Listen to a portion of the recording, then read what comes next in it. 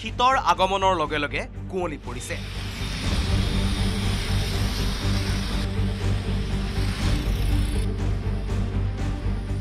সমগ্ৰ উত্তৰ ভাৰতক যেন কুঁৱলীৰ আচ্ছাদনে ঢাকি ধৰিছে।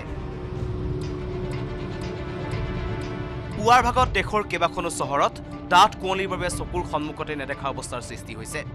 দিল্লী অমৃতসৰ প্ৰয়াগৰাজ লক্ষ্ণৌ আগ্ৰা বাৰাণসী এই আটাইকেইখন চহৰতে দৃষ্টিৰ পৰিধি শূন্য হৈ পৰিছে।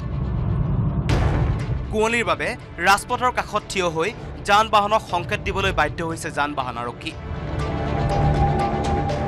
এয়া দিল্লী বিমানবন্দৰৰ দৃশ্য। নিচেই কাষৰ পৰা অস্পষ্ট বিমান।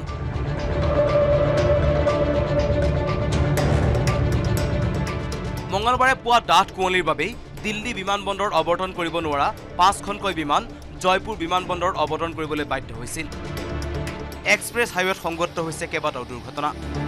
উত্তৰ ভাৰতৰ প্ৰতিখন চহৰতে যেন এতিয়া একেই অৱস্থা।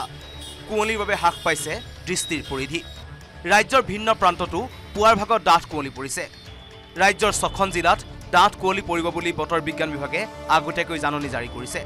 News desk report news eighteen Assam north east.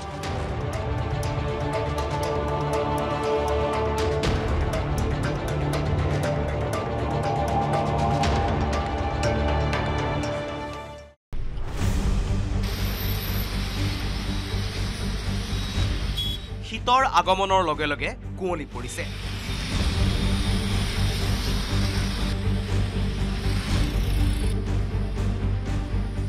সমগ্ৰ উত্তৰ ভাৰতক যেন কুঁৱলীৰ আচ্ছাদনে ঢাকি ধৰিছে।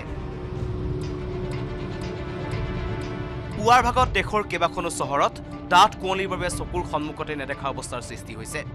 দিল্লী অমৃতসৰ প্ৰয়াগৰাজ লক্ষ্ণৌ আগ্ৰা বাৰাণসী এই আটাইকেইখন চহৰতে দৃষ্টিৰ পৰিধি শূন্য হৈ পৰিছে। কুঁৱলীৰ বাবে ৰাজপথৰ কাষত থিয় হৈ যান বাহনক সংকেত দিবলৈ বাধ্য হৈছে যান বাহন আৰক্ষী। এয়া দিল্লী বিমানবন্দৰৰ দৃশ্য। নিচেই কাষৰ পৰা অস্পষ্ট বিমান।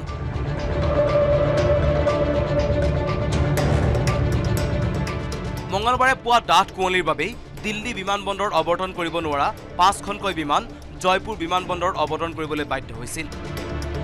এক্সপ্ৰেছ হাইৱেত সংঘটিত হৈছে কেইবাটাও দুৰ্ঘটনা। উত্তৰ ভাৰতৰ প্ৰতিখন চহৰতে যেন এতিয়া একেই অৱস্থা। কুঁৱলীৰ বাবে হ্ৰাস পাইছে দৃষ্টিৰ পৰিধি। ৰাজ্যৰ ভিন্ন প্ৰান্ততো পুৱাৰ ভাগত ডাঠ কুঁৱলী পৰিছে। ৰাজ্যৰ ছখন জিলাত ডাঠ কুঁৱলী পৰিব বুলি বতৰ বিজ্ঞান বিভাগে আগতীয়াকৈ জাননী জাৰি কৰিছে। News desk report news eighteen Assam north east.